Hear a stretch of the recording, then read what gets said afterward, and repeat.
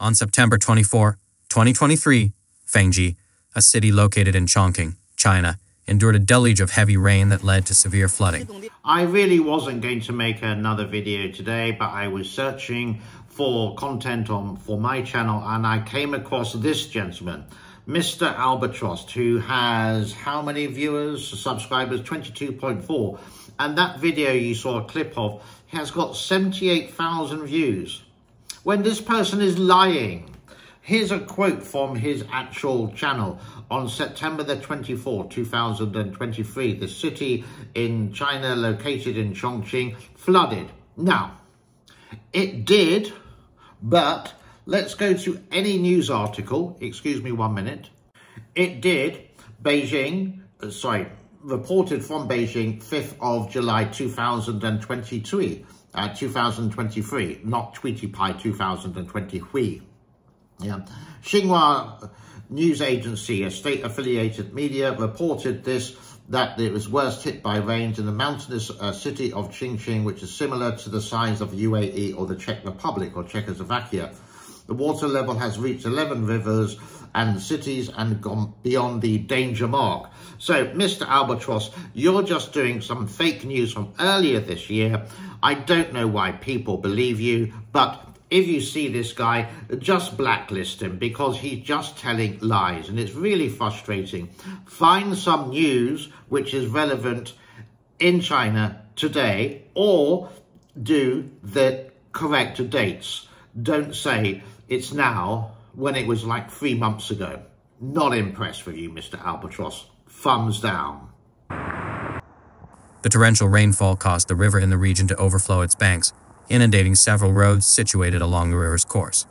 The impact of heavy rains on Chongqing's Fengjie, Yunyang, and Xushan districts.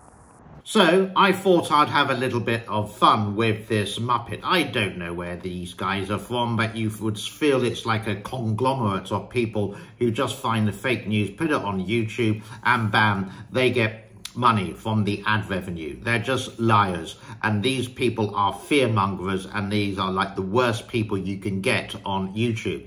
I hope they are listening to these comments and realize that you can do uh, things about China, but do the real news. Don't do old or even fake news.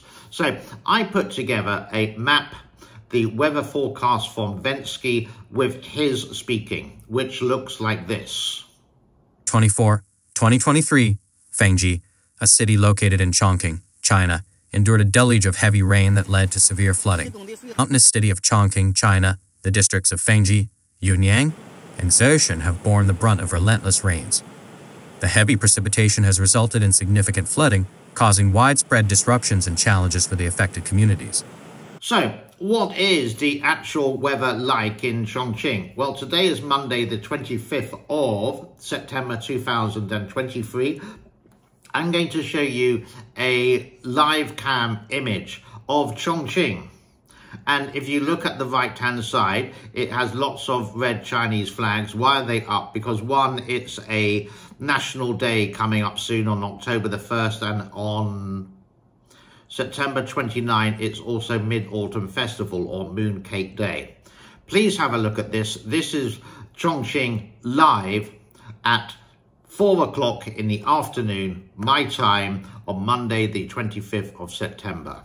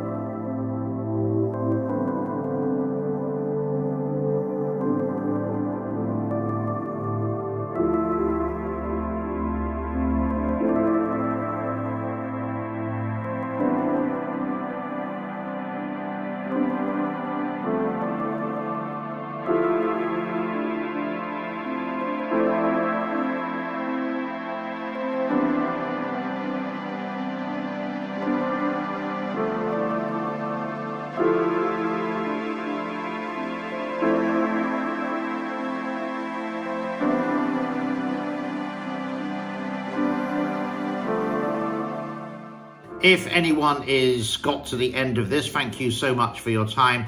I'm very happy to name and shame these people who do these constant lies on YouTube. And it's just getting that correct news out to the real people. And I feel YouTube, yes, is a hobby, but I feel I'm like a the CID of fake news in China or the FBI, and these people should be brought down. I feel better now. Have a great day. Bye-bye.